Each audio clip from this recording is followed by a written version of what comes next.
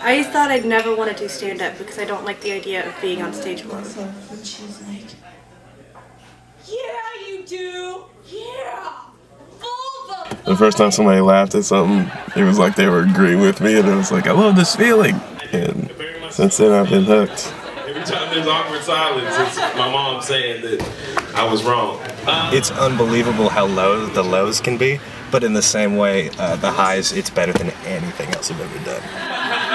The only reason the FBI would kick my door down is to give me a fucking hug. If I'm doing a show, I'll address the elephant in the room if there's like, you know, a heckler or something like that. Kill them. You know, I like to put them down like a three-legged horse. Stop! Stop it! Is this your first time outside ever? Have you ever been to a live performance ever in your life? You wouldn't talk during a fucking movie. Are you telling me you're gonna show more respect to a piece of celluloid than you're gonna do to a live person actually trying to entertain you? Is that what you're telling me right now? Is that what you're fucking telling me? Stop talking! Alright. I need drugs. I need drugs so bad, kids.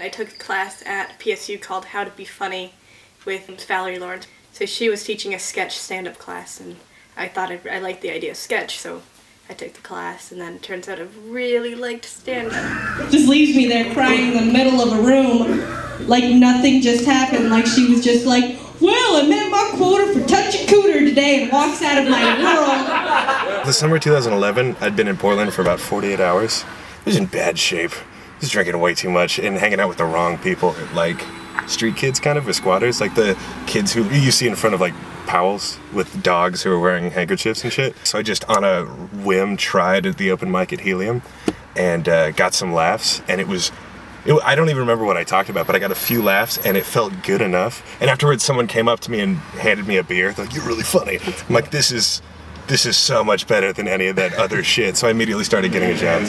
I will be doing what I do best dominating the space. A lot of sociology majors in the building. Uh, when I actually had stuff prepared, like they were shitty jokes. I think they were terrible jokes, and then like you don't even find that out till you actually start. Most of the time, like doing it on stage and, and going through it and feeding off of uh, the people you're telling it to. I just blew my nose on it. Like it's a cold game, baby. I'm sorry. And now I'm going to hell. A lot of stuff stems from something that happens, Yeah, I didn't get that joke either. And then that's that's pretty funny. Hey. I'm gonna play Boat Hunter after this, completely lit. You think I give a shit about what's happening up here? Uh, yeah, I do, very much so. Uh, I've been doing stand-up comedy for nine years. I think I've come pretty far. I'm happier now. I'm not making as much money as when, like, I don't know, like four years ago when I was really touring hardcore and I just I didn't have a home. Now I know I can get on stage. I know I'm a performer. Um, it's there's no doubt in anybody's mind at this point. They're like, no, Richie's a comic. So that's I'm 30. Is that adult? Kids, is that adult 30? No? See, but adult shit's happening at 30. Like, pills stop being fun and start being useful. Like, that's a thing that happened. I think when, when I started out, I had an idea of what comedy should be, and just like talk about all the wild shit I've been into. But uh, lately, I've just kind of been totally honest about the things I do do, which is like hang out with my girlfriend and like you know try to take care of my diabetes and shit. You know, I drank coffee every day, and I just recently stopped drinking coffee every day. So I'm gonna be about this energetic for the rest of my life. Just catching up. I don't know if it's maybe just getting your ass kicked for so long or getting rejected off of things that you really want, but then you start turning it more inward. Like after a while, you start saying stuff that really comes from you. I know it's been a lot more enjoyable. I come bearing gifts. You like weed, black man? Hmm? And I was like, yes, I do. Mhm. It's really cool how far I've come in the sense that like I don't feel bad about the things that I say now. Like I, I feel as honest as I've ever been on stage. And then from that, uh, my process has changed because initially I was writing a monologue. Now I kind of know what my voice is and what I want to do. Um, I carry around a scratch notebook that I have, and that has everything. It has like shopping lists and all sorts of other stuff in it. just And then once the joke is good or it gets a laugh, I'm like, okay, I can work with this joke. and then I take it and I put it in another notebook, and that's the joke book. like showing it off. I'm looking at the guard just trying to be a human. I'm like, hey buddy, you and me right here. Right here. There's nothing up my butt. Okay, there's just nothing up there. I want to go in there, I want to serve my time, I want to come out, having nobody look up my butt. Can we do that? And he goes, it's the law. You have to do this. And I go, I'm in jail. I obviously don't give a shit about the law. It's kind of why I'm here. I like to do new jokes, but I'm always so worried about doing new jokes. Because it makes you feel not funny when. Because you're like, when a joke doesn't work, it sucks. But you can always make it better. It's always this process where you like, you have a bunch of bad sets, then you finally write a joke that's really funny, and then you're like, all right, right, I'm.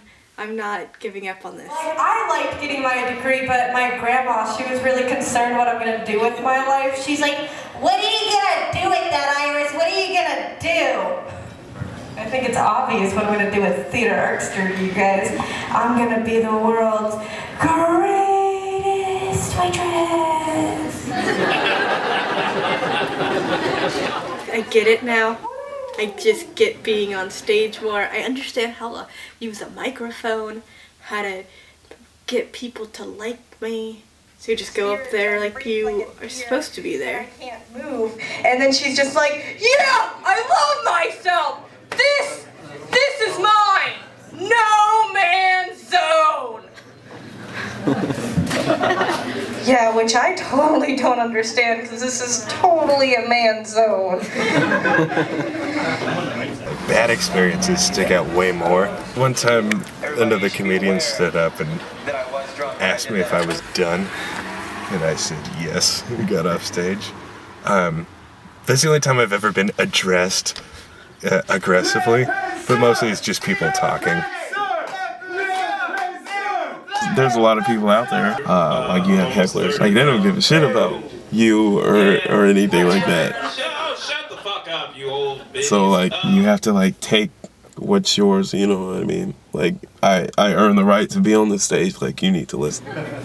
Dad died when I was really little. I don't know a whole lot about him. I kind of handle hecklers the way I want to handle hecklers, and so far it hasn't been an issue. Yeah, and that's why he shot himself in. Shut up! Shut your mouth! I unleash on them, and it's the best way to do it. See, that's what happens. There's subtlety and nuance and jokes, and when you fuck it up, I can't tell them. Ah! All right. You go there because they want you there, and the fact that you're there and they're being rude to you, just oh, I can't handle that. Oh, I cannot handle that. I like to make sure they go away and they understand that they're doing something inappropriate. But Christ, lady. I tried to kill myself once. I took a whole bottle of pills, but they were multivitamins, so just woke up and started fighting crime. All right. Felt good. There's so much more to it than I thought originally thought. It's a big impact on like the way we think now. You get to say what you you wished you could say, and a lot of other people wish they could say. Uh, all the time, on a nightly basis, and like it's helping people out. Like I, I don't see how you could just give it up. So I pissed the bed a little while ago, and uh, It's weird. I don't I don't see myself yeah, that's right. quitting comedy. See myself dying, but I don't ever see it. See me quitting comics. I've gone through all these different phases and gotten into different things, and uh, and comedy is the only thing that I've loved forever. I would like to continue to do it forever. I think uh, if it's just you alone listening to a Bill Hicks record, some dark marginal figure, um, and that's what you need to get you through the day, then that that's what comedy is for. Um, but if you've had a shitty day at work and you just want to like, you know, take the edge off, yeah, comedy's there for that too. So. me. You can give it up for me right now. Can we do that? I didn't do it like when I was in college. I didn't do it for like a month, and I was so miserable. And then I went up after a month. I did a set and I bombed really hard, but I'd never been so happy. Right? I'm gonna do this forever. What else is there to do? Mm-hmm. I don't know what else to do.